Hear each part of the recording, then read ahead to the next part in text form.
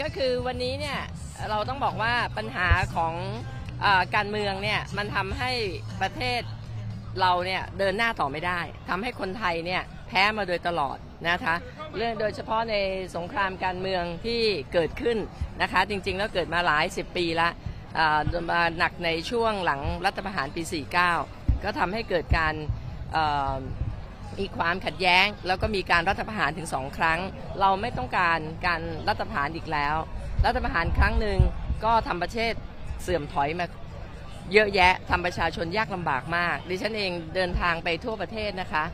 จะต้องบอกว่าในช่วง 9 ปีที่ผ่านมาเนี่ย8 9ปีเนี่ยประชาชนมากอดมาร้องไห้นะคะน้ำตาประชาชนที่หยดบนเสื้อเนี่ย เขามาระบายทุกข์อะมันเป็นความทุกข์ที่แสนสาหัสที่ไม่รู้ว่าจะเดินไปทางไหนต่อได้แล้ว